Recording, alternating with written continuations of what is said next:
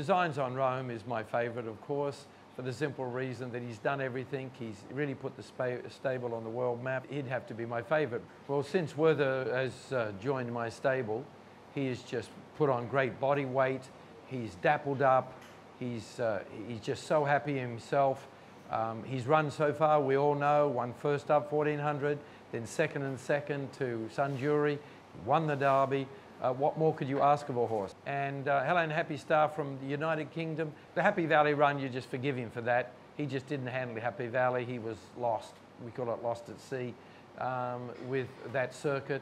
But um, you go back to his run before where, where, he ran second to Designs on Rome Right, and that was full of merit, that run.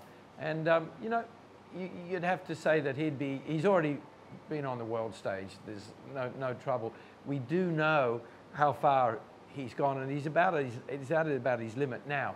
But if there was a dark horse in the race, um, I, I, I, think um, you'd have to say that uh, he, uh, he'd be the dark horse.